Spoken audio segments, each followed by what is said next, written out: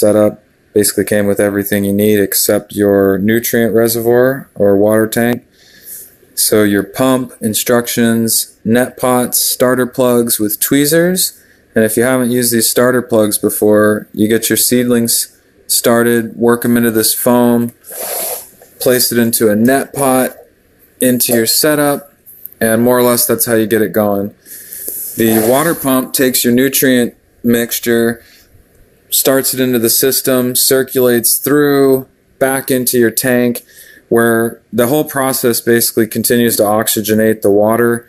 And with hydroponics, the idea of you being able to control your nutrient solution and the extra oxygen going through, you're going to get a lot faster growth and bigger yields potentially. I've done some hydroponic growing in the past, and it's all a game of playing with the nutrients.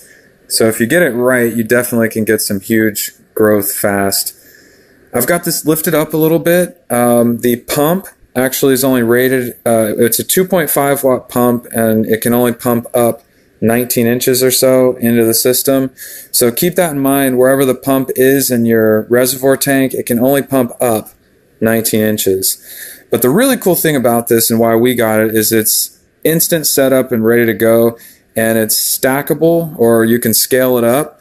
So if you notice these four corners, you could just imagine taking this, stacking another one, even a third or fourth. And if you connect your inlets and outlets, you can basically have a pump start up into the top system, circulate through all four back into your tank.